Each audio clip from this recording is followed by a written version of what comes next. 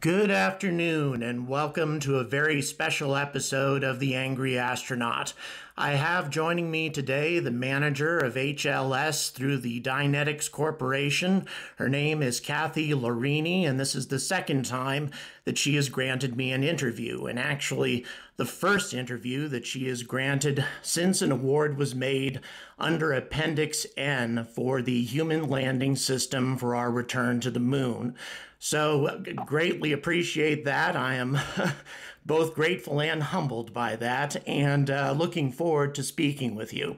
Um, Ms. Laurini, by the way, is a veteran of NASA with over 35 years of experience and a graduate of Notre Dame University. Doing all right today?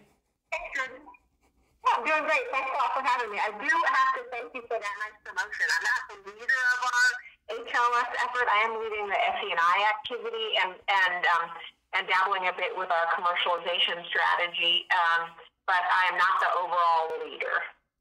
But I'm happy to be here today and looking forward to talking with you again.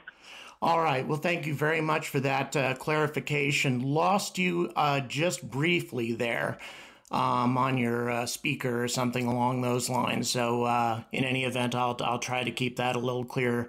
Um, the first question, I guess, that I have this has all been sort of a convoluted thing, and a lot of folks have not fully understood what's been going on. And that uh, appeal was turned down, and Blue Origin has now gone further and gone to the federal court system. However, you have not. Instead, you've just pressed forward with Appendix N. Can you tell us how Appendix N differs? From the award that was recently made? Yes. So the um, the award that was recently made to SpaceX under the Next Step BAA um, Appendix H actually is um, one targeting a landing the, on the lunar pole, lunar south pole in 2024. Right. So um, it reflected a policy decision by the previous administration to ask NASA to accelerate their timeline for getting people back to the surface of the moon. So NASA's response to that was this Appendix H. And in order to make the 2024 launch date, they had to um, remove some critical requirements from the lander, things that they wanted historically. And, you know, you mentioned I was working with NASA, and one of my jobs while I was at NASA was helping to formulate the lunar plan. And and NASA's original plan before the 2024 date came about was to put people on the surface of the moon in 2028, but to put four people down and, and be able to do more things on the surface of the moon. So what um, what Appendix N does is reflect that new reality. You know, the, the SpaceX was selected for a couple of reasons. I mean, they put in a good proposal and a good price. Um, and NASA understandably would like to get people on the moon as soon as they can, um, but they it, they really want this so-called sustainable lander, this four-person lander that, that enables them to do a lot more on the surface of the moon. So um, Appendix N was created for that purpose. Um, so we didn't protest, or we didn't um, uh, decide to follow up once the GAO um, denied our protest. We decided to just accept the accept the situation and move forward and focus our efforts on this four-person sustainable lander that NASA um, is seeking to advance under Appendix N. So what um, what the awards announced this week do is is allow them to have five companies um, working with NASA to fully understand the requirements of this so-called sustainable lander and reduce some of the risks associated with their solution and um, advance their design concept as much as possible with the limited amount of funding that comes with Appendix N. So these five awards are sort of like, and, and, and Appendix N is sort of like a bridge contract to the NASA uh, main solicitation, um, which is going to be a lunar exploration transportation services contract. So it's kind of confusing, but they're hoping, you know, they said when they picked SpaceX that they were still committed to competition and Appendix N is a reflection that they still are. So they're um, eh, funding five teams to further advance their design of this sustainable lander in um, in hopes of establishing a competitive environment for actually the lunar transportation services. So um, we're super excited to get an award and um, we're getting the team back together to um, to refine our design. And we able to do a bit since we lost um, the, uh, the, the competition um, to SpaceX. We were able to continue to work our advance our design to address some of the weaknesses we had and, and prepare for anticipated um, new requirements for NASA. So we've been, we've been working at, at a low level um, for the last months, but we're super excited about this opportunity to um, uh, raise it up a notch, let's say. So, um, tell me something. It, I'm sorry, go ahead. Um, another question uh, in regards to Appendix N.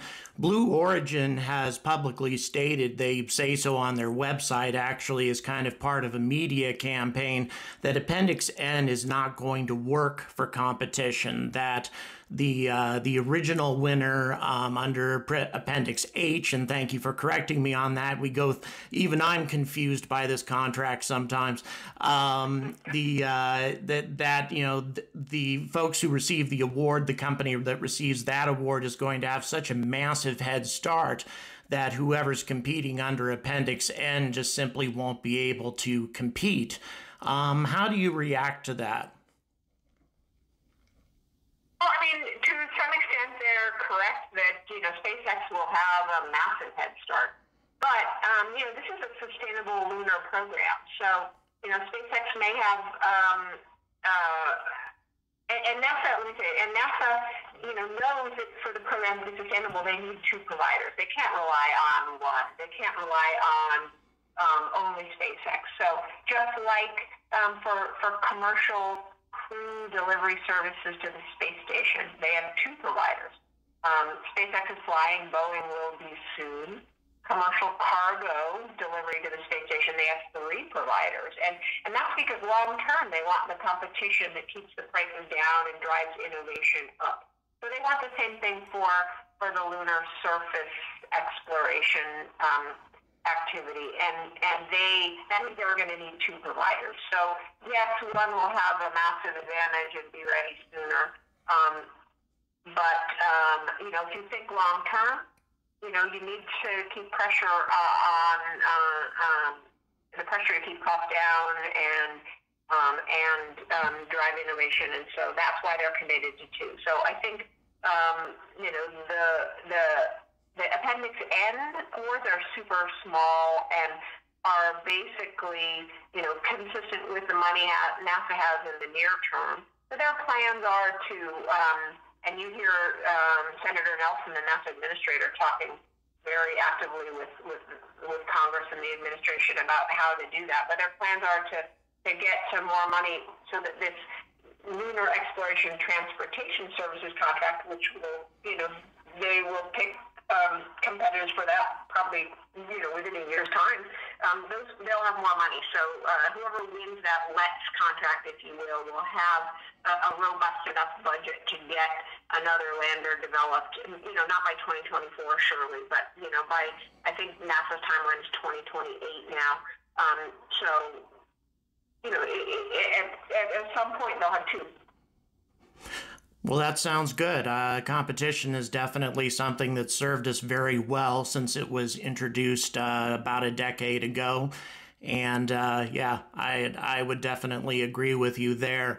Um, you mentioned the strengths and weaknesses of proposals. A lot of uh, there's been a lot of talk about the mass issue with the alpaca. Um, can you a explain what that issue was, um, just to in you know, let us know what what uh, what problem existed, and also b has that problem been solved and how?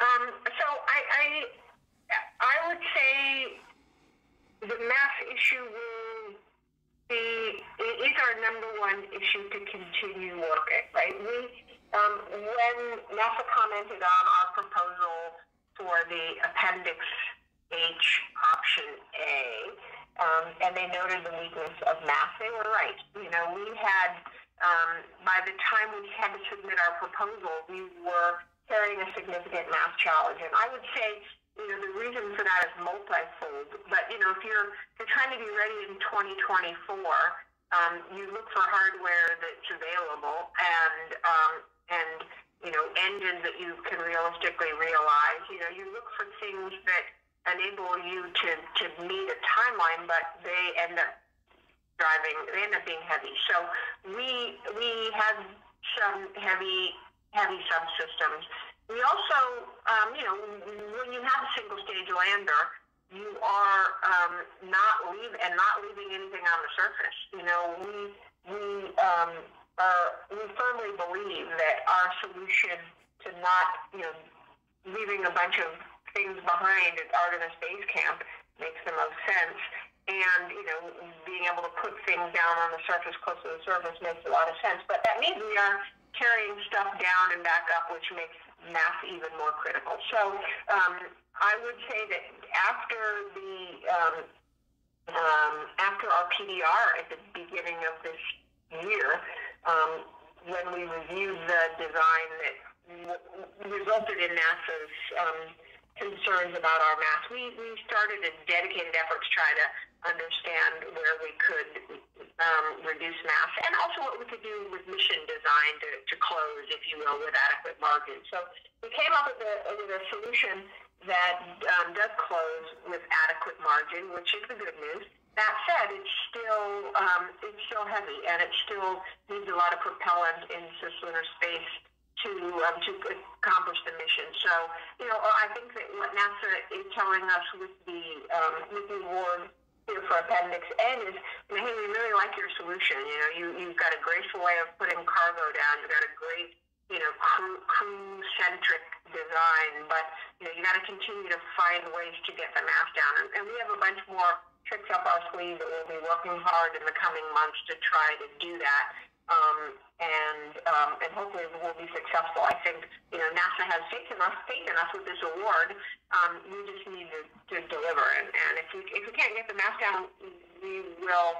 Um, you know, we likely won't be as competitive uh, cost-wise as other offers, so we're motivated. I see. So, um, and you you mentioned not leaving anything behind. Uh, am I to take that to mean that the drop tanks are no longer part of your design, leaving drop tanks, or is that still there? We have gotten away from the drop tanks, um, which maybe um, maybe was a good decision, maybe not. But um, you know, in, when we look at 2024 and the um, uh, the the development risk associated with the interface between the drop tank. So you know that you know we had to make a remotely controlled interface that that had power and data and and um, and propellant interfaces. Um, uh, and it was it was you know we were intimidated by the technology maturation glide slope, and so we got away from those. Um, you know, we are again looking at whether or not we should um, we should you know go back to an architecture like that. But um, um, that was part of the reason why we created a, a math issue for ourselves. I see. So that that could be a big part. Well, it sounds like that would be a big part of it if you have to essentially haul up everything and you're not even disposing of the drop tanks. That in itself, it seems to me, would create a bit of a mass issue. Um, so, but at the same time, that also means 100% reusability. Is that correct? Exactly, exactly. And that's one of the reasons why we are um, big believers in the, um, the benefits of having a, a, a depot around the moon. And we've been working with some partners to try to um, you know, understand how that might be realized. But, you know, if there, you know, and, and you've heard Tory Bruno from ULA talking about the um, strategic importance of a propellant reserve around the moon, and and there are more as more people and, and uh, capabilities exist around the moon to serve NASA and other customers. Um, you know, both both private sector and, and um, U.S. government, you know, national security customers, perhaps. You know, the, the, the idea of a propellant depot around the moon is very interesting. So if we can um, realize that propellant depot, and, and we're not talking about a depot that's customized just for us, but we're talking about you know, everybody needs oxygen, right? So so why not um, why not build a, a depot built that can serve um, multiple customers? And so um, if we can do that, all we have to do is, is pull up and, and fill our tanks, and that makes that simplifies a lot the the the, the operational concept, the operational scenario. It takes a lot of risk out of that operational scenario and um, and, and and have the ability to significantly lower the cost and complexity of our missions. You know, okay, you could create an ecosystem where um, you know the operator of the depot will pay the lowest bidder for delivering prop to the depot, which they would sell to customers like us. So that's sort of the the you know the long term vision that many people have, and, and we're certainly supportive of it and actively working. I mean, we've even you know stand up and raise our hand and say, yes, we'll be an anchor tenant if you make it happen. Um, so um, that's uh, uh, something that is enabled without these drop tanks. Interesting. Um, well, yeah, it's it it definitely a fuel depot around the moon is something that I've advocated pretty much since I started this channel. So definitely a solution that would work out. So so tell me, um, you know, in an ideal world, uh, in your mind's eye, visualize this lander as you would like it to be how would a mission look? A repeating mission. Let's say you have to make two visits to the moon using the same lander. What would be the process involved with doing that? Um, okay, so our, our lander, one of the tenets of our design is to make it reusable from the start, you know, completely reusable from the start, just needing to refuel and, you know, some um, um, consumables to support the crew. Um, and so, uh, and we're, we're committed to that. So the vision would be, you know, the first mission, you know, you tank up into lunar space and you and you take the crew, you pick up the crew at the gateway, and then you take them down to the surface. You bring them back up to the gateway, and then you loiter in cislunar space and um, wait for the next mission. And so the next mission, you all you need is the fuel and the and the crew consumables. You can get the crew consumables at the gateway, so that's an easy problem to solve. But but the the fuel um, you would need to deliver it either through the through tankers or getting it at a depot. So we would we would fill up, and then um, the same system that took the crew to the surface would pick up the crew again at the gateway and and take them back down to the surface. So we think that you know multiple missions with with one system um, allows us to to get close to competing with you know billionaire funded teams. Um, you know it, it, it enables it gets closer to us offering um, a, a value to NASA that is um, that is uh, you know, includes cost benefits um, as well as mission risk benefits. So that's our that's our goal. So and then we have a cargo variant of the lander. The cargo variant of the lander could could launch with say NASA's pressurized rover. Um, and then, and then it could wait around, take it to the surface, and then go back up. And it could wait around uh, in just in the space. So when is ready to bring the um, foundational surface hub, uh, to the surface, they can they can deliver it on SLS Block 1B right to the gateway, and we can just go pick it up at the gateway and take it down to the surface with the same lander that already took the rover down. So, so you know that's the that's the vision for reusability with both the crew version and the cargo version. I don't think you'd ever see a crew version where you leave the crew module somewhere and then use it in between as a cargo variant, but um, but the platform, you know, the Alpaca it's basically the same. I mean, all you have to do is make a, you know, we have a plan for making the Arch a little bit bigger to carry the HAB and the rover that NASA launched. Um, but, you know, the, the other systems uh, are, are the same. Now, in terms of the uh, the module and in terms of some potential changes, uh, I have noticed a, an illustration that came out at Sierra Nevada depicting the alpaca with an inflatable module, kind of like their life habitation module. Are you folks exploring that kind of thing, that kind of solution of using a, an inflatable module uh, in to perhaps reduce mass and other advantages that that offers?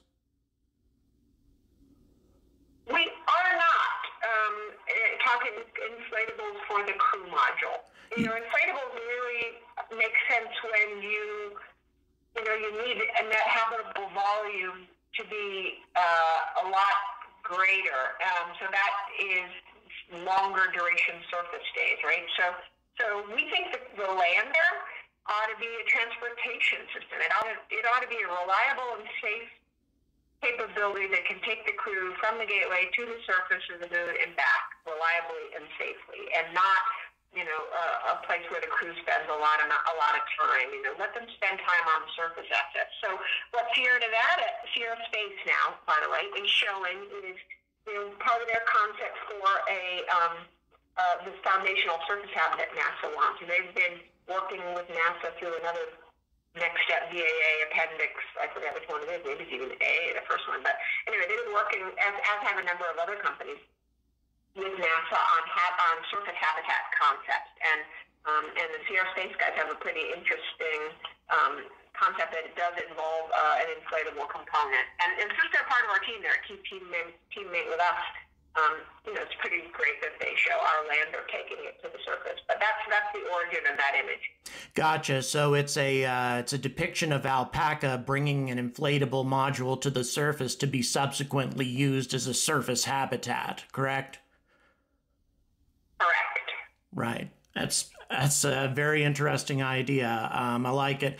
Okay. Um, another question, and and you may not be able to answer or even speculate on this. However, everybody has found it to be very interesting that uh, that the members of the national team, Blue Origin, Lockheed Martin, and Northrop Grumman have now received separate awards. They have been questioned about this, and Lockheed Martin and Northrop Grumman have stated that they remain committed to the national team, but at the same time that they are looking at other options or pursuing other options do the do their proposals i don't know if you even know anything about their proposals but it does it seem to suggest that these companies are kind of going their own way on Appendix N?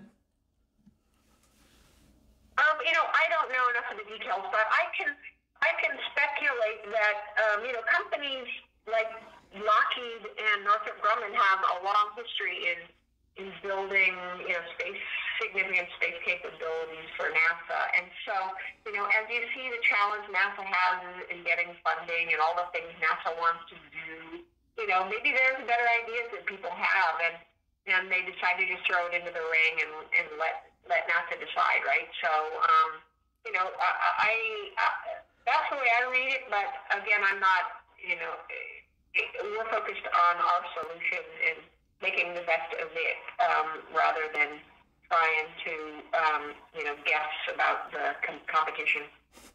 I understand that that does make uh, perfect sense to me. Now, another question that, that folks are asking a lot right now, or what seems to be very confusing to them, is the the initial um, scores that uh, have been awarded to these proposals. Um, you know. Both Blue Origin and SpaceX seem to have better scores um, on their proposals than Dynetics does, but the award to made to Dynetics was uh, significantly in excess of what was made to Blue Origin and SpaceX combined. So that would seem very inconsistent to the uh, the average observer. Can you comment on that at all? Uh, I mean, I would say that um, you know, NASA evaluates proposals for, you know, with a lot of criteria, making sure that you address exactly what they want to see in, in, in the proposal. And, um, and everybody does their best. Um, uh, you know, I think the, the technical, and we did, so we did our best, right? The, the technical weakness, you know, as I mentioned earlier, you know, mass is still a challenge, and we've got, um, uh, we've got a lot of technology projects that will help increase performance and enable us to to um, to, to solve to, to help you know contribute to solving those problems. So I think that um, what, what I would take away from NASA's award is you know they they see a lot of merit in our concept, right? I mean nobody else can put the big cargo items down on the surface so easily. And, and, and they don't have that many big cargo items, so it makes sense to try to combine that with a crew, crew So I think they they they would really like to see uh, us us be successful, and and and they uh, and, and we did focus a lot on you know defining the the, the technology demonstrations and and the tech, specific technology projects that are included in the so-called SLIM two. Um, and, and, and NASA saw a lot of merit in, in those and saw how we connected those to, to being able to deliver them, uh, you know, a cost-effective um, value delivering lander system. So, um, yes, you know, we noted the same things. We haven't had our full debriefing with NASA yet, so I don't know anything. We don't. I don't know any more than what's been written in the in the statement. But but um, you know, we we um, you know, like everybody, we got, we've got work to do and, and technologies to mature. And um, and NASA's award, we think, uh, continues to um, demonstrate that they would like to see us be successful um, and, and see a path to us being successful. So we're going to do everything that we can to give them the best possible option from a performance and a cost standpoint.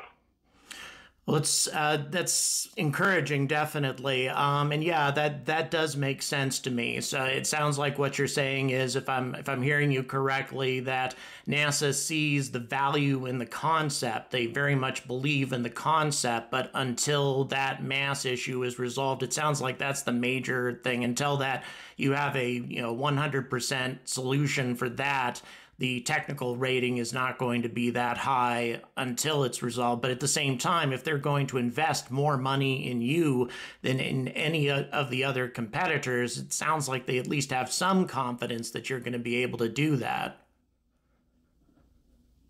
I, I would agree, you know, and, and again, until we get a full debrief from NASA, I, I you know, I'm, I'm, just speculating on on the rationale for it, but um, but I agree. Well, great. Um, another question.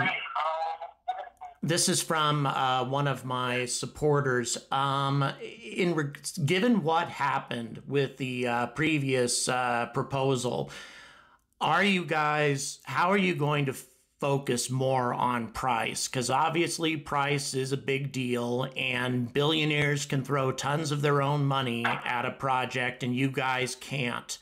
So, do you have any plans on how to bring down cost? Yes, we do. Um, and you know, I think reducing mass also reduces cost, but um, we're never going to be, you know, in the in the billionaire funded. You know, we're never going to be able to compete with it with somebody that, that's funded by a billionaire who's willing to put a lot of money in, right? So um, yes, we, we do a strategy, and we will be working with cost very hard, and we have we have since you know in the last several months. Um, I, I would say though that part of our strategy is to demonstrate the value of our system, right? So let's say our uh, uh, if you pick a landing system only based on cost, um, you might miss the opportunity to um, deliver uh, your a, big habitat to the surface without the use of a crane that you would need to you know launch on another large cargo lander just to get it down there right? So so you can imagine that um, you know helping NASA understand that it's not just about cost but it's about value um, is is going to be a priority for us. Um, I think you know also you know those of you that are quick, those of your viewers that are, I know there's a lot of people that are following you that are big SpaceX, fan, uh, SpaceX fans, and I'm also really impressed by everything that they've done. But if you look at the, we've got a corner on the market for delivering crew and and um, and and you know they've got a big contract for cargo to the space station, and you know the prices that they offered NASA initially are a lot lower than the prices they're charging now, right? So you don't want to be in the hands of of, of somebody that may be trying to recoup their investment or somebody that may, you know, be, uh, um, uh, you know, interested in doing something else, like going to Mars, for example. You know, what is what kind of price would Elon charge if if he could only launch X number of starships a year and he needed, you know, X minus, you know, Y for launching the Starlink satellites, and he's only got the capacity to either sell them to NASA or going go to Mars. I, am speculating, right? But what, I, what my message is, you know, you, you protect yourself you get value by protecting yourself against um, certain scenarios that you probably should protect yourself with if you have all your eggs in the billionaire basket. So, so I think our, our strategy be to do everything we can to reduce costs. I mean, we, we need to do that. Um, but also to show that unique value that's provided by our solution, and that should be worth something too. Well, I think there's also a matter of long-term expense, something that I've often argued. If we're if you're if you're going up against, say, the national team solution, which is two-thirds expendable, requiring a new transfer element and a new lander every time you go to the moon, there's a lot of recurring expenses, you know, as time goes on, as opposed to a 100% reusable solution. So I would say, I mean, would you say it's a fair statement that for long term expenses, um, the Alpaca is going to be a better solution? I think so, yes. I think so. I think that's fair. You know, I know um, other teams have.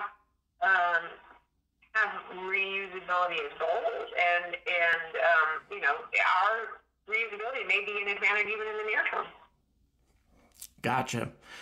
Well, um, let's see. I want to make sure that I've got just about everything covered. The questions from uh, from individuals in the field seem to have been fully covered. So, just to quickly review what we've uh, you the mass issue. It sounds like you have pathways to to dealing with it, if you know, maybe getting the drop tanks back or some other solution. Perhaps 3D printed engines. Do you see that being a, a possible solution to, to deal with it as well? Much lighter engines that a lot of folks are coming out with now? Yeah, well, there's, there's some interesting advancements in 3D printed engines. Um, so I, I can't speak specifically to that. You know, these I don't know if, engines of our size or, you know, when they're going to be 3D printed, but I know people that are actively working on that. So I think um, it's something we will definitely watch. You know, if we can, anything that um, that provide, you know, I will definitely watch it. Yes. I mean, I don't, I don't, you know, I'm not the propulsion person, right? So I'm not um, able to give you a definitive answer that says, you know, we've got all these folks on our radar screen that we're going to evaluate, but um, we'll be using the time during the, the, the beginning of appendix N to um, to you know address issues like you know propulsion system architecture and what we can do different to, to lower mass there everywhere everywhere.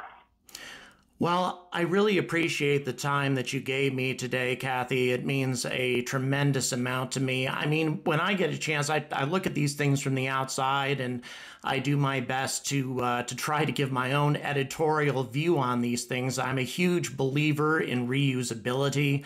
Um, your solution now being 100% reusable is, is a huge plus as far as I'm concerned. And the logistical simplicity you know, going down, coming back to cislunar space and refueling at a fuel depot. Um, all of that makes this into quite a solution. So I wish you folks the very best of luck. Very much, and thank you for the opportunity to, to share with your viewers the the work that we're doing and that we're and, and our excitement at being part of this appendix N activity in, in helping NASA get people back to the moon. So, again, thanks very much. Thank you, and you have a wonderful day. All right, you as well. So it would appear that competition and innovation is still very much alive in the HLS program with NASA and in our endeavors to return to the moon. And this is something I have always approved of, especially when we're talking about reusability. So until this process is finally finished and we're watching human beings take their first steps on the moon for more than half a century, I urge all of you to stay angry about space.